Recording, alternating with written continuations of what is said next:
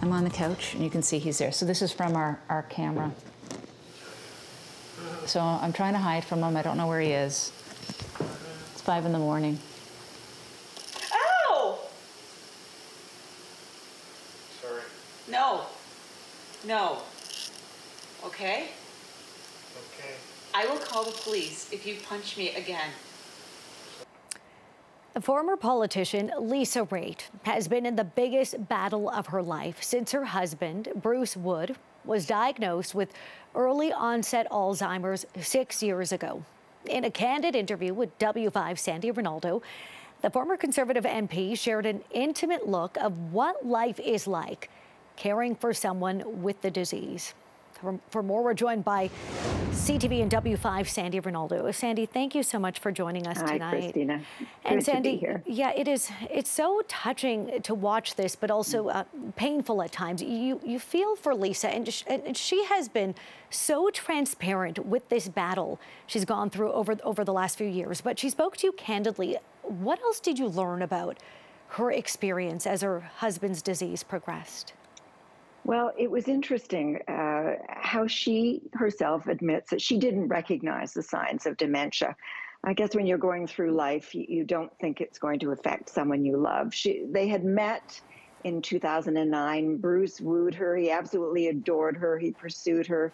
Theirs was a very happy early relationship and continued to be so until there were signs that something was up there was confusion. Bruce would forget things. There were times when she was in Ottawa doing her work as a senior minister in the Stephen Harper government, and he would get angry when she called. And she thought, she personalized it. She said, there clearly must be something wrong with me. I'm responsible for this relationship going downhill. Well, it turned out not to be Lisa at all. It was Bruce.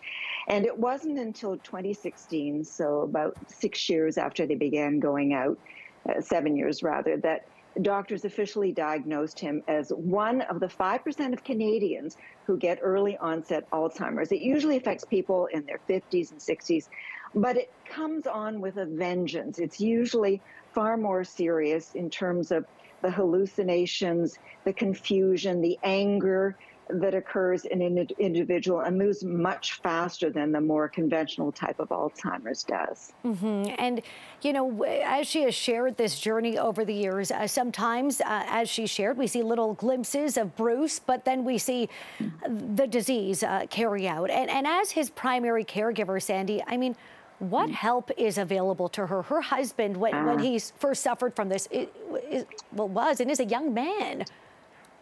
Well, you see, this is it. Uh, I have over the years, over the past decade, done investigations into long term care in Canada. And certainly the COVID pandemic showed us how very inept. Uh, the most, and I shouldn't tarnish every single long-term care facility across the country, but most are incapable of fully looking after individuals because of poor staffing and poor training. Well, the same holds true for Alzheimer's. Lisa would often, her husband would end up going to hospital because his behavior became so aggressive.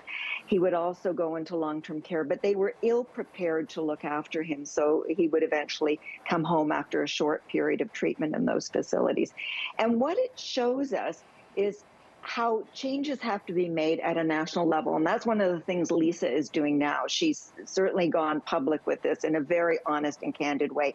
But she also wants to push the agenda forward by calling on the federal government to take a look at a national strategy funded and then engage the provinces so they can take a closer look and make sure that there are improvements in place when the large majority of baby boomers, that huge tsunami of baby boomers, has access to care.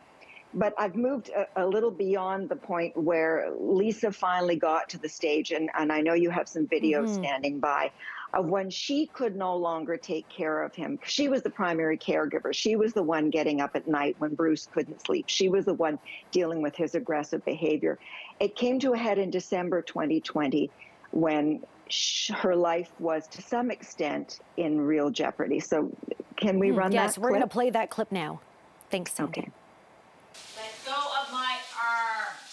So what happened that day that you finally had to call the police? What led up to the point where he wanted to put me through a window? He he was a football player in the past. I'm standing right about here. He put his shoulder down and he was getting ready to run and tackle me, and I would have went through the window, and that scared me. I yelled at him. And Billy came up over the stairs to threaten him. And I just said to everybody, relax, back off. And then I went, I literally standing here, I made the phone call to 911. Wow. And Sandy, I want to point out, and this is something uh, she has spoken to you about, Lisa. This that's not Bruce. That that was not the the Bruce she married. This is the mm. disease. But this is, uh, I guess, what led him to getting the proper help and into a facility. What happened right after that moment?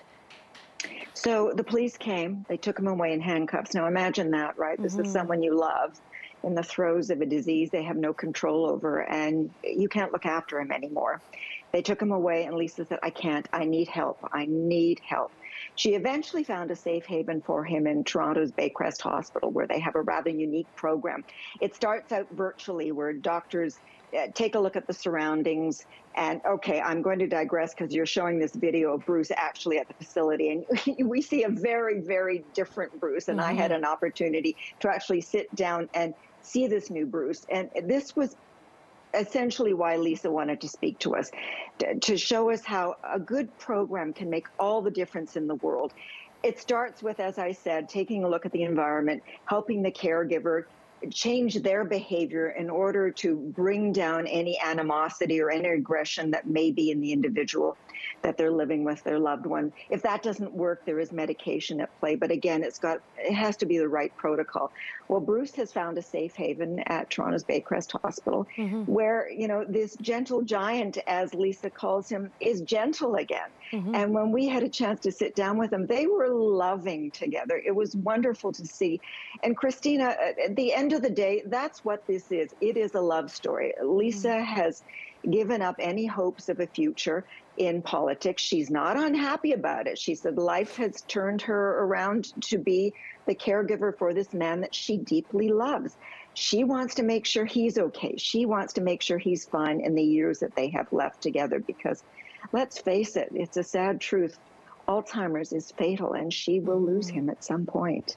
Uh, this is uh, such an admirable uh, story. I mean, incredibly admirable because uh, Lisa knew before marrying Bruce that he was essentially in the early stages of this illness, and she's dedicated her life to him. Uh, Sandy, uh, but before we let you go, I believe I heard you say earlier when you met Bruce, even he flirted with you. I think you said half jokingly, because you got to see this side of him. You know, we see these videos where he uh, really is almost about to become violent. That that's not who Bruce is. No, uh, you know, he charmed Lisa when they first started going out years ago. She said he was one of these larger than life characters who made her feel wonderful about who she was, mm-hmm. was, is as a person. And he also looked after her.